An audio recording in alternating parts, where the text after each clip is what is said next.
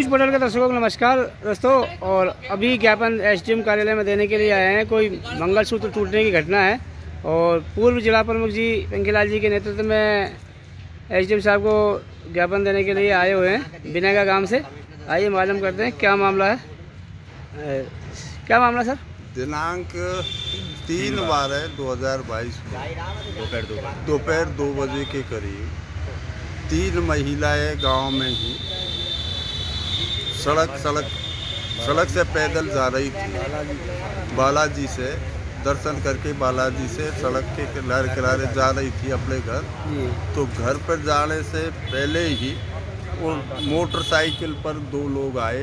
एक का मुँह तो ढका हुआ था जो मोटरसाइकिल चला रहा था पीछे के का मुँह खुला था।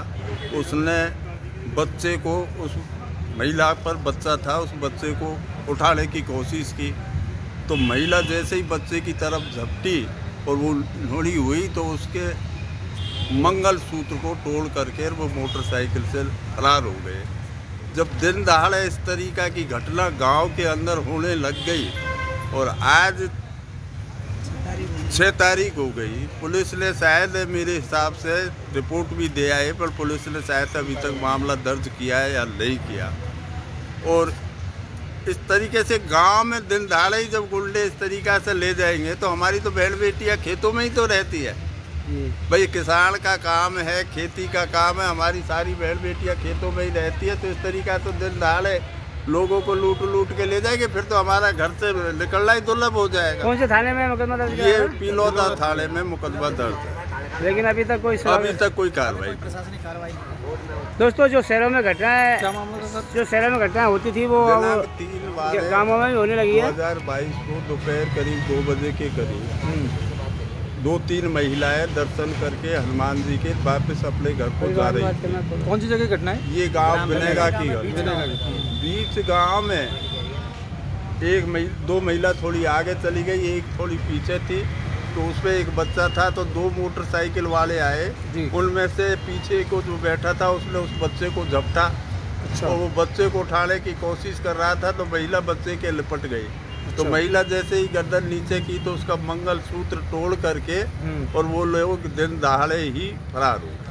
कितने दिन पहले घटना ये तीन तारीख? तीन तारीख तीन दिसंबर हाँ, इसकी एफ़ आई आर दर्ज करवाई क्या आपने? इसकी एफ़ आई आर दर्ज कराने के लिए पिलौदा थाने पे गए थे। अच्छा। शायद मुकदमा दर्ज किया या नहीं किया ये इस बात का हमें अब अच्छा। अब आज यहाँ किस आज यहाँ एस डी ओ साहब को एक ज्ञापन देंगे जब इस तरीका की घटना है यदि सरेआम हमारे गाँव के बीच में से महिलाओं से मंगल सूत्र वगैरह तोड़ के ले जा रहे हैं। हम्म, इतनी हिम्मत यदि दोस्तों की हो गई तो वो तो हमारी बहन बेटियाँ तो खेतों में पड़ी रहती है रात दिन किसान का काम चल रहा है खेती का काम करती है। हम्म। महिला भी बराबर से काम करती है तो फिर तो हमारा तो जीना ही दुर्लभ हो जाएगा। बिल्कुल। और हम घर से बाहर निकल नहीं सकते घर से बाहर निकलेंगे तो ये गुंडे दिन दहाड़े इस तरीका से लूटेंगे हम्म। तो हम खेती नहीं कर पाएँगे अच्छा उस जो जिसने छीना झपटी की थी उसकी कोई पहचान वगैरह हो पाई उसकी पहचान हमारे पास नहीं है पर सीसीटीवी कैमरा लगा हुआ है जिसकी फुटेज है उसमें यदि ये देखे तो उसमें शायद मोटरसाइकिल का नंबर भी आ सकता है और उसकी पहचान भी हो सकती है अच्छा पुलिस का क्या रवैया रहा इस मामले को लेकर पुलिस को पुलिस ने आपको सहयोग किया नहीं किया